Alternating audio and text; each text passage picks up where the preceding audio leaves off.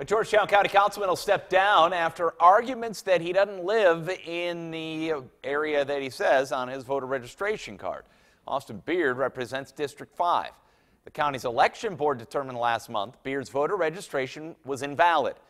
The Board of Elections says that he stayed in office for as long as he did because it took him that long to get the power to remove him. Today, the NAACP will talk about Beard's resignation during a news conference. Final